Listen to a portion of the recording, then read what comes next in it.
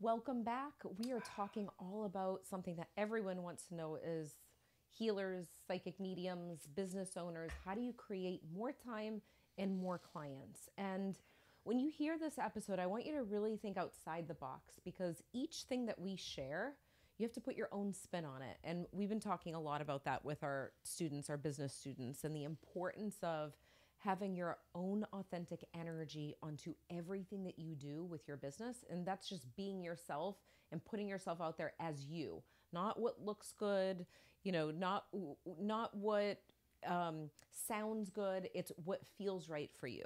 Right. Yeah, exactly. And when you have a business, it's important to maximize your time. We only got 24 hours every single day. So there's many aspects of a business that you have to put time and energy into. So Yeah. this episode is going to help people have clarity on where to put their time and energy because that's a big clue. There's always going to be that small amount of action steps that create most of the results, which we'll get into later in this episode. Right. And I think the big problem when we started working on our mission, we we're like, how much time should we be putting in? Yeah, because as an entrepreneur, you're confused. You go from having a boss, like with us working in the school system, you know, we had our principals and we had the lesson plans and the team meetings and the school day, the length of the time. So when you go into your business, you're trying to figure out what is enough and what is too much. And I think that's a big thing that people they don't know where to go. It is huge because I can remember as you said that just feeling like not enough no matter how long I worked at the beginning.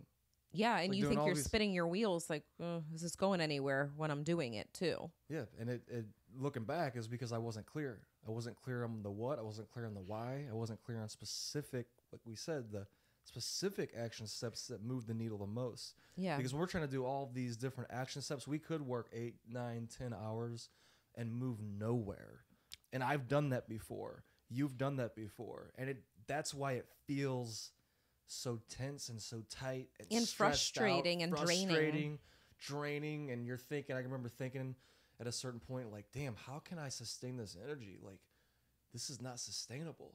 And I knew something was off. Yeah. like I knew there was something that it shouldn't be this way, because our mentors would teach us. They would tell us, like, "No, you need to be energized. Mm-hmm. Like, your business system should energize you. Of course, there's times where you're going to be tired, just like at a job, just like when we were teaching."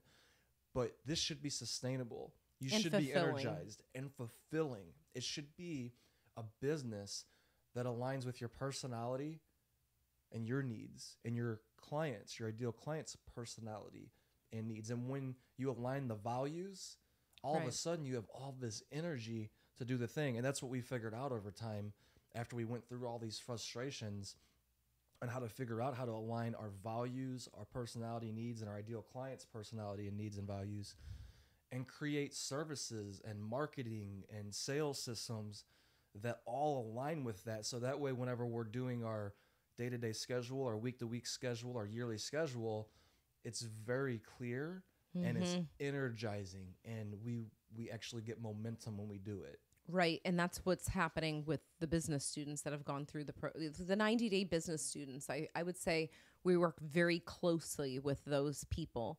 The people that are actually taking the steps and really aligning with their values and putting that out there, their business change changes at a rapid rate.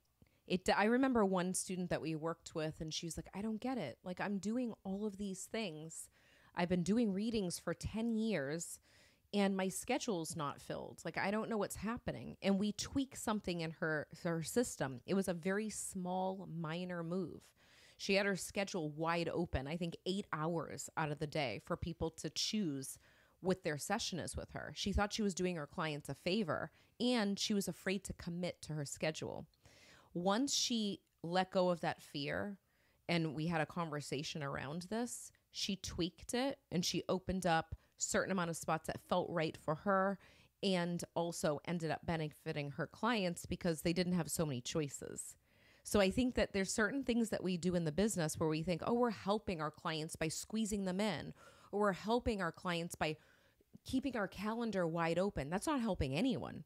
Like as as healers and coaches, when we're doing these things, we're draining our energy too because we don't know when we're on. When we have to be on. Yeah, and it all we realized too, and you would agree uh, because we talked about this before that it all comes from a place of love. It all comes from a place that Yeah. they really want to serve. Oh, definitely. And before their business, that's what they were doing, right? People, I did it too, right? People in front of you, and you're like, I got this information. Do they want to hear it? And I'd be excited to like share information or to give a reading or to do that kind of thing. So you kind of sometimes take that same mindset into your business, and it doesn't work. Right. That mindset doesn't work in business. It's it- not sustainable. You have to that's why they call it like the business mindset. Like you have to create a new mindset, a new way of seeing your world. And that's the 80%.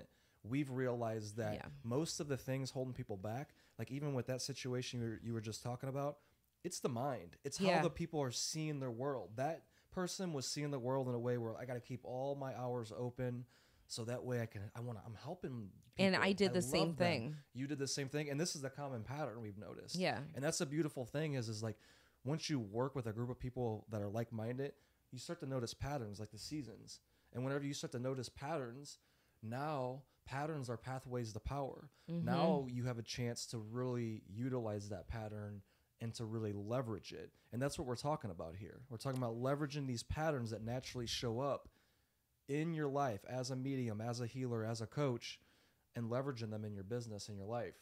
Right. And just listening to this part of the story might remind you of something that you've done in the past or you're doing right now, or you're thinking of going into your mission and, and doing your business. So think of that as a clue that, you know, maybe there's certain things that are implemented in your business that just aren't, it's not working for you anymore or it hasn't worked for you don't be afraid to tweak the things that aren't working i think that's the big thing is is as psychic mediums and healers, we can intuitively tune in and give readings to everyone else. But when it comes to your own stuff, it's hard for you to get the intuitive nudge and then take the action. And it's the practice. It really is the practice of being okay with change in business. That's why each year that we're in business, we're growing at a rapid rate. And the people that we're working with, it's happening too. But like you said, the business mindset is everything because we can give a list of steps to our uh, business students, our masterminders, and give the same steps to everyone. And some people will work for and other people it won't. And there's two reasons for that. One is because it's not authentic to them and it's not in alignment at all. So it wouldn't work for them. And everyone has a different way of doing things.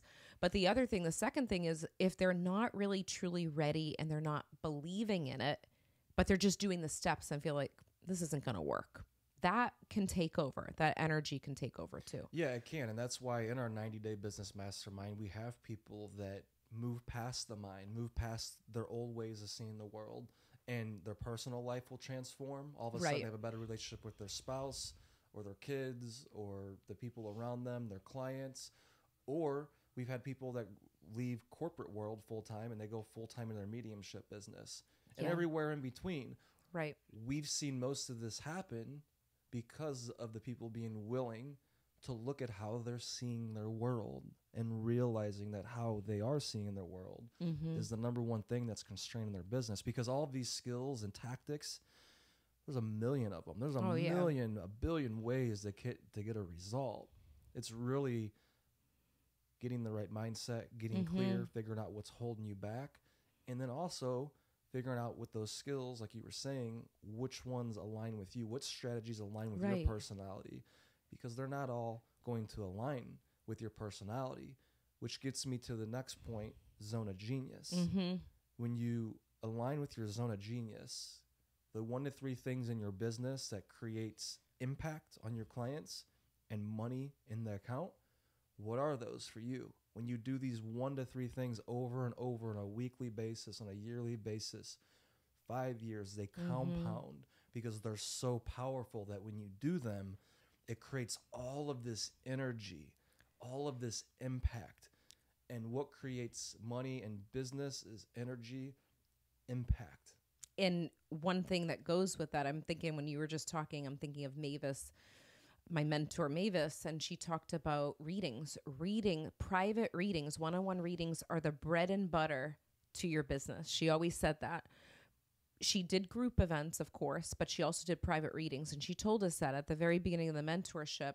And I truly believe that. I feel as a medium, there's some mediums where they don't do any one on one readings, they just do groups, and that's fine. But what I've recognized readings, if you're a medium, doing those sessions with people, really working deeply with them, for me, that's there's so much power in that. You can really get insights in the way that they're thinking. You can get insights from the spirit realm. And then from that piece, that zone of genius, whether it's group readings or private readings, it actually builds on some content that you can create online from your own experiences. You're not replicating other people's experiences and seeing, oh, that looks good on Instagram, so I'm going to do that too. That's going to work. It's like, no, you actually have these experiences because you've done the coaching or you've done the mediumship and the healing. And people you know? can feel it when you talk. And you're vibrating out that energy that, that you've done it. Yesterday, I was on a call with a client and she's crushing it and this is someone that she knows her zone of genius. That's why she's crushing it. Mm-hmm. I love doing readings. This is what I do right now. She knows she has a vision of doing more in the future. You know, she could see herself doing all these things that a lot of us can speaking on stages, writing books, courses, right? right? Everything that could be in this industry. But she l- has lasered in over these last several years on her zone of genius. I'm doing platform readings, I'm doing group readings, I'm doing one on one readings, and that's what I do. And she figured out a way to either hire out the other parts of her business or figure that out, how to get that mm-hmm. solved. And she spends most of her time in her zone of genius giving either one on one readings or on group readings or platform readings and crushing it in business because of it. Because you need it to be simple. Yes. If things aren't simple, you're going to get overwhelmed. You're not going to take action. So when you go and you give your reading, or if you're a healer or coach and you do your coaching session, you know how does that feel inside? You feel all this energy. You feel a shift. Even if you're the one doing the coaching or the reading, there's a shift going in place. There's a ripple out into the world. Mm-hmm. You're doing that over and over. We have so many clients. There's many clients that are on their path, and we have other clients that aren't on their path. Maybe they weren't in the past, to where they're like, I want to ask them their vision. I want to um, give readings. I want to have a full schedule. Okay, so how many readings have you given in the last three months? And it's crickets. Mm-hmm. And they're like, well, six months ago I did like 30, and then and two years ago I did, and it's like gas on, brake, gas on, brake, gas on, brake, and it's like, it's so simple, but it's like stay in your zone of genius. If you're gonna give readings, if you're gonna do coaching, if you're gonna do healing, make sure you're doing that consistently, weekly, on a monthly basis. And some people say, well, what do I get my people from? There's 8 billion people on the planet. Figure it out. Yeah. Have the internal commitment inside. Yeah it, it, it can be challenging at times. It can get into a mentorship. Get, get into, into, a, a mentorship program. Get around a community. There's people everywhere. We've realized that the people that have this internal commitment to this we're like no fuck it. I don't need to think about where i'm getting the people. I'm internally committed to doing my readings for the next year. Um, and if i don't have a reading during that time I'll just meditate myself and I'll connect them with someone. But my intention, I'm going to have those spots filled up. Those are the people that fill them up. The people that are it's, saying, like, well, where do I get my people? And they stay stuck on that story. They don't find their people and because I, they're always saying, where are my people? And I think, true. And I think it's a big thing is when you have that internal desire, it vibrates out. Hmm. So you're pulling these things pulling in. in and you're waking up your clients. I think that's what I recognize too, like with this work. Like I know for both of us, we have a huge reason why. We don't need to advertise what our reason is every single day, but it's internally in us and it's vibrating out into the world. So, what I've noticed with the people that we work with, the people that are really have that internal reason why they've taken the time to get clarity on the feeling of why am I even doing this work? Is this because I want to be seen on stage? Or is there another layer underneath that there's this internal drive because I went through something and I experienced this, or I know that I want to impact people because there's so much more to life than what we could see with the human eye. So I think if if you really get clear on that, you won't have the excuses of I can't find people to practice with. I can't find clients. It's like, no, I will figure out a way like you shared but it's going to be that internal drive and that internal confidence that no matter what, I'm making it happen because I have a desire that's so strong that it doesn't matter what looks what it looks like externally even though I can't see people to to practice with right now I know that they're there but if they're not really sure on why they're doing it and it's for a surface level reason, like I want to be on stage or I, yes, that's great. Like that's going to happen no matter what if you keep on doing your work. But if that's not the underlining reason, then it There's changes. no to it. There's no energy. to it. Exactly. So it's not that there's anything wrong with thinking that you're going to be on stage. That's not what I'm saying. I'm saying if that's the only reason why you're doing mediumship, because you Yeah. saw another medium getting some sort of significance and seen, and you know, it felt special to see them shine. There's a reason that they're shining, and it's not because of that. It's because they have this internal drive inside. And we can't forget that. I think going through the process of going through practice, it's easy to forget why am I even doing this if you're not staying focused and reading your vision or or journaling about your why on a regular basis. We do that regularly. We talk about it regularly. Yeah. Because we have to. Because we understand that it. We all have an internal drive. It's there. Mhm. We're just accessing it. It's like if you're digging for gold. If you're not digging, you're never gonna get the gold. If you're not journaling, if you're not talking about your why, if you're not make painting pictures about it, being Right. clear, you're not gonna bring that energy up. It's in you. You just have to activate it. And some Mhm. people think, "Oh, I, I did that exercise five years ago." It's like it's not gonna work. Or I took a class five years ago, or last month. Even if you took one last month, it's like this is a daily thing. Like if you're gonna do this kind of work, you it needs to be an internal drive. It needs to be a commitment. This isn't like you're doing just a basic job that's out there. This is like people that are in this industry are passionate, are like driven, like you said. They lost loved ones, or they've went through um, seeing people and their family depressed, or maybe suicide, or like just something where it's like there's an energy there that gives them hunger Yeah. to want to help people. And as you access that, like you said, now you have all this energy to do everything that you need to do for your business. And as you stay in your zone of genius, like giving readings, coaching, um, creating, right? For many of them, it's creating. It's that's one of my zone of geniuses. I'm a Mhm. creator. I love creating, and it just pours through me. I could create uh, content. I could create lesson plans. I create when I'm one on one with people because we're creating energy. It's an artist. So Yeah. coaching, creating. Um, it could be one of your zone of geniuses is maybe speaking on stage. There are people out there where it's like that's your zone of genius. I'm gonna go and I'm gonna speak on stage, and that's how I build my business. That's how I create my impact. The point is, is you have to figure out right now, in this moment, like right now, what is your zone of genius? I'm, we're all intuitive. We could see 20 Yeah. years on the line. I'm not talking about where you're going to be 20 years from now. That's important to know. Right now, what are you doing to move, move the needle? Because you're not going to get to that 20 year vision if you're not building your Right. foundation out. Like you said, your content, your value comes from being in the field, being with people. Us being with people this last decade has revealed to me all of these few patterns that we all have that are spiritual entrepreneurs.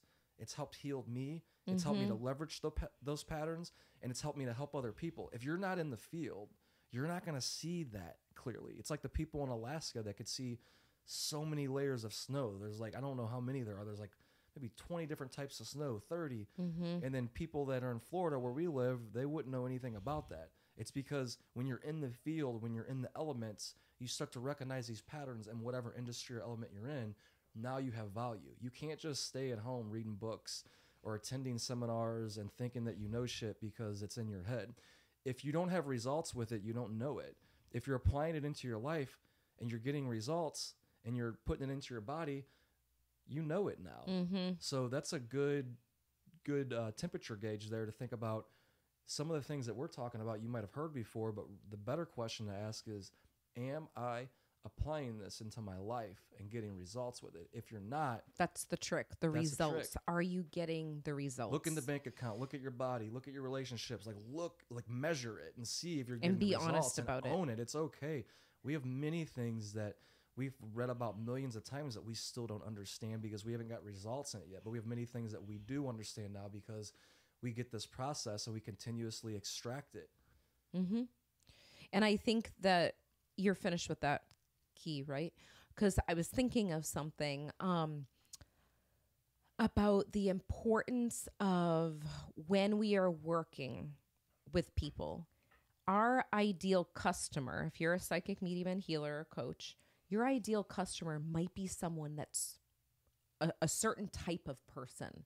They're into the physical body. They're into um, nourishing themselves and moving their body and and feeling good and glowing from the inside out. And then another psychic medium and healer might be like, I'm focused strictly on just the mediumship practice, nothing to do with the physical body, nothing to do with the energy. It's all about the mediumship practice, and that's the focus. Is there a right or wrong way? No, but it's important to figure out what is it that you want and where do you want to go. And I think that's the big thing to know that everyone has an, a, a different ideal customer. So when you're creating, create from the space that you feel you are as a psychic medium healer and coach, and you'll attract very similar people to you. You also will repel the opposite. And I think at the very beginning stages of people in business, they get sort of insecure or frustrated like, why are these people not gravitating to me? Well, because they're not aligned with your energy and who you are. freaking like you. Yeah, I know. No, I'm kidding. That's a, that's a hard I've thing. had to, I've had to tell myself that too. Yeah. I, I joke about it because I did the same thing. I know. So it's like so you have to understand the more that you're showing up as you, the more people that you're going to repel and the more fine-tuned your ideal customer is going to be and it's going to gravitate to you at a very fast rate. And I think that's important to know that it's about not taking things personal if someone is choosing something else over your program. And I think people don't understand that. Something that I've had to get in my mind is it's important to know everything that I create is connected to me and put it out there and the people that are gravitated to it, there's a reason. And I remember at the very beginning, I was trying to serve everyone. I'm like, I want to serve everyone. I want everybody to like me. I wanted everyone to like me. I wanted everyone to be served. I wanted I didn't want to limit the people that could come in.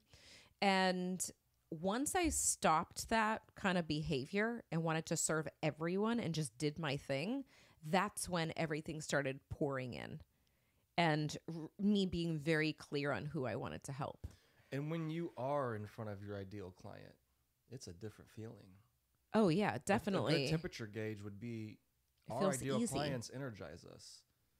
The ones that aren't ideal, they're not as energizing. It's more of like a drainer. yeah. Like So with the that's a- people that we like to work with, they want to be helped. They want Yeah. to be told. They're coachable. They're ready. It flows. It's just like when you're given a reading or anything. Like you need the other side to be open. You all know when you have your ideal client in front of you because it flows in a different way. yeah.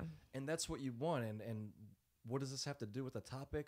Has everything. Because if you stay in your zone of genius and you have your ideal client, you could see how you're focusing on the twenty percent of actions of things you need to do that create 80% of the results and when you do that you save so much time and energy there's no longer where you Yeah. working 10 hours and only getting like one hour of work done it's like no you're very effective and efficient with what you're doing Mm-hmm. and it energizes you when you're doing it because you're with your ideal client. Right. And then there's systems which we can go in. We're actually going to go into some of this in our webinar coming up tomorrow night. And the next couple of podcast episodes. And Yeah. It is. The, the the business system is another part of it, right? right. Which we give we help we have a little system that we help people with and we tailor it to their unique personality and needs, which Mhm. is the most important thing that you can do. Yeah. you have a system, but then you got to tailor it towards your unique personality and needs. And whenever you do that, you'll you won't be asking for energy anymore. You'll have all this energy inside of you. Yeah, maybe some days are lower than others, but there's Right. gonna be a consistent energy flow when you're locked into this process. How do we know? Because we're experiencing it. We've watched clients experience it over and over. Like Lindsay said, they'd come into our 90 day mastermind and then they're doing all these action steps, their schedule's wide open, all of this, and then we just tighten things up.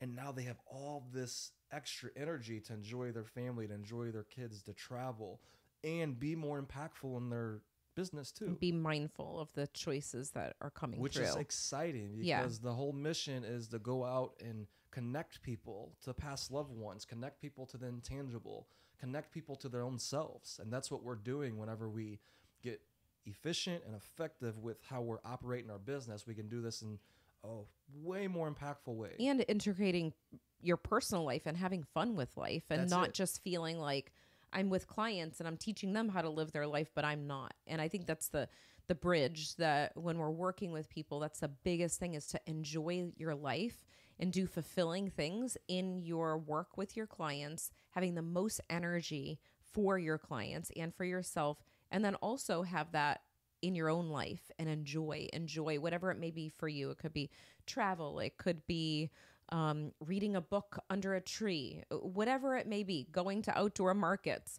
Like there's so many things that we can enjoy in life and why not mix the two the mission with that Yeah, and it, we're not saying all this because we want you to live this abundant life or be a unicorn or to to do all these things. This is so you're around in 5 years.